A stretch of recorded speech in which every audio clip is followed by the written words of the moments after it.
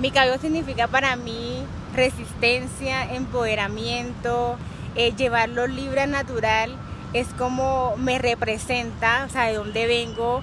eh, qué soy, porque, o sea, eh, independientemente de que si uso trenzas o uso mi cabello natural, para mí me representa como esa ancestralidad para uno autoaceptarse con su cabello, ¿sí? Entonces para mí llevar mi cabello natural significa empoderamiento, resistencia, me siento fuerte y con una autoestima súper, súper grande.